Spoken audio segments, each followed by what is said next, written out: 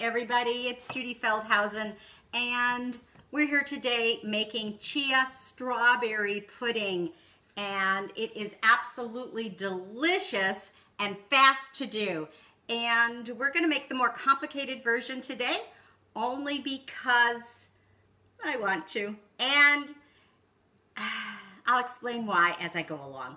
So the first thing we're going to do is actually use chia seeds. And these are organic chia seeds, and there are a variety of different colors. There's white and black and brown, and uh, just happened to be the what I picked up. So you can use any kind of chia seed. But the first thing I'm going to do, which is an additional step to a regular uh, put chia seed pudding, is I'm going to grind these seeds.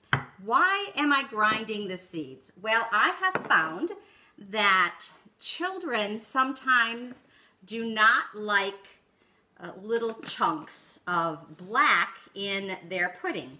So uh, by grinding the seeds, they're not going to really see that.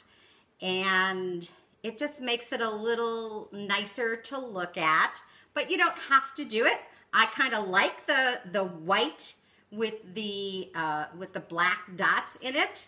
But either way, so hold on to your ears because really quick, we're gonna grind these seeds.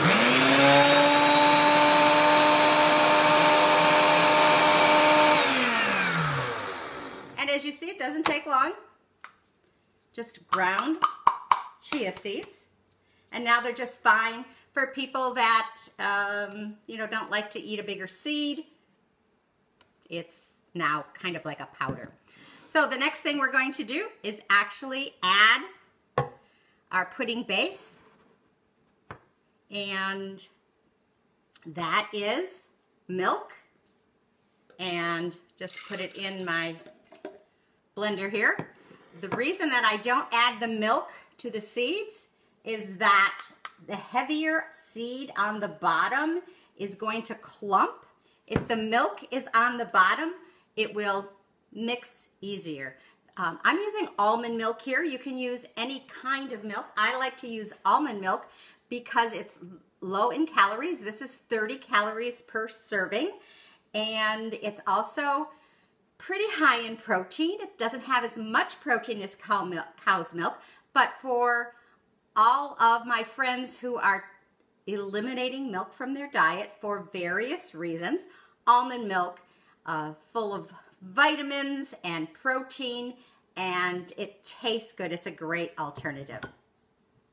Uh, now we're going to um, add our chia seeds, and I love chia seeds. Most people use chia seeds for their salads, for their smoothies, because there's a lot of protein in here. There's a lot of good omega-3s.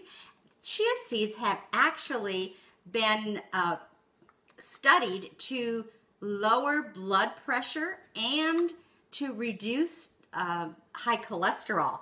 So they're, they're known for good, good things. And really easy to do. I want to also add my vanilla, about a half of a teaspoon or a teaspoon of vanilla. And let me just mix that real quickly here because the, chia seeds are going to start puffing up really, really quickly. And you don't need to blend yet. Actually, if you just want regular chia seed pudding, here you have it. That's it. And I'll tell you what to do when we're all done. But today we're going to add a fruit to our pudding. And it's fun to add fruit just for a little difference in flavor, for what it looks like.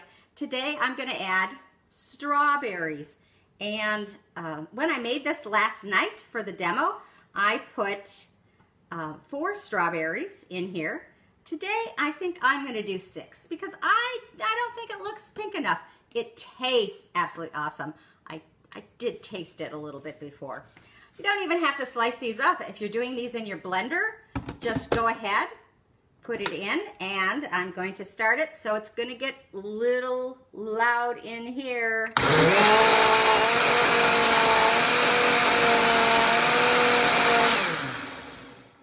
That's all it is. It's already mixed up. Look at that. And it's already thickening. I don't know if you can see that here, but it's already thickening. So you want to take this and uh, put it in uh, a refrigerator. I actually pour it into, uh, you know, like a, just a mason jar. I pour it in a mason jar and that is it. So this is the pudding that I made last night. You see it's not quite as pink as this one. Really a difference. Can you see the difference? So really, it's done. You let it sit for a couple hours. Uh, originally, um, the, the first recipes that I looked at said that you need to, to do it overnight. But when you blend the chia seeds, you really don't need to do that. And look how nice and puddingy this looks like. Is that a word? Puddingy? I don't know. But um, that's really just dish it out into a bowl. Now, if you're going to use this at a fancy party, you may want to use some coconut cream. And um, this is my coconut cream, whipped cream. And you just layer it on the top. This has been sitting out a while. You can put it in the fridge for a couple minutes. That will, um, that will make it thicker. And then I like to just decorate with the fruit that I'm using. So I have just a couple extra strawberries here and I am slicing them and then I'm just going to actually put them on my pudding and just put it on, make it look kind of pretty. So gorgeous, so beautiful, so good for you. I mean, why not eat things uh, that will support your gut health and your heart health? Makes sense to me. Doesn't it make sense to you? So here we're done with our strawberry chia seed pudding. And I am just going to taste it here. Oh my gosh.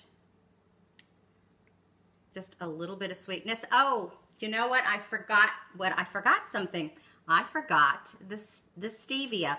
You want to add about a half a teaspoon of stevia. I was actually going to put some in from my garden and it's still standing on the plant. So enjoy your chia strawberry pudding. You can use blueberries or anything you want, any type of fruit to add a little bit of color, a little bit of beauty, because we want to put love on the table, love on our plates. So this is Judy Feldhausen, your energy chef, and eat well today. See you soon. Mmm delicious.